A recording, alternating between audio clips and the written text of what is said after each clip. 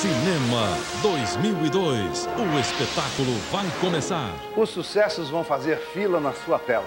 Em cartaz, muita ação, diversão, aventura e muita emoção para quem tem paixão pelo cinema. Você vai curtir Roberto Benini no premiado A Vida é Bela.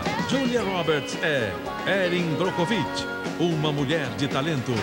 Destinos Cruzados com Harrison Ford, John Travolta e Madeline Stowe em A Filha do General, Antônio Fagundes e Amy Irving, num filme de Bruno Barreto, Bossa Nova, de Pedro Almodóvar, Tudo Sobre Minha Mãe, Jodie Foster, Ana e o Rei, Sandra Bullock e Ben Affleck se entregando às forças do destino. A bela Gwyneth Paltrow em Shakespeare Apaixonado, filme vencedor de sete Oscars. Eu adoro. Eu tô louca pra ver aquele filme daquele ator, aquele astronauta, aquele menino, aquele Steve em Marte. É Steve Martin, Ofélia, que vem aprontando pra valer com Ed Murphy em Os Picaretas.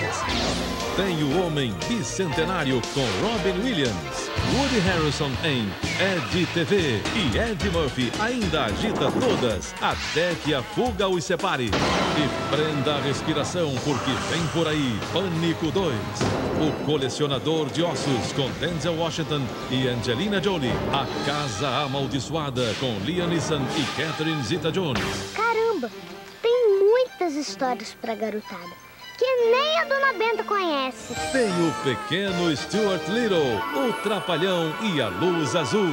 As novas aventuras de Riquinho. Muita música e animação com Xuxa Requebra. E ainda o Príncipe do Egito e o incrível Formiguinhas. Quando o assunto é ação, essa rapaziada sua camisa pra valer. Vai rolar Jean-Claude Van Damme em Soldado Universal, o retorno.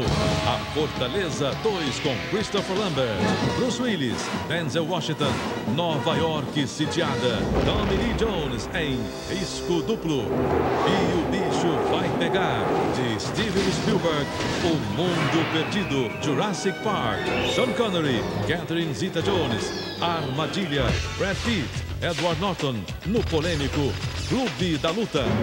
E para começar, tem Brandon Fraser encarando uma aventura de arrepiar a múmia. A gente se vê no Cinema 2002.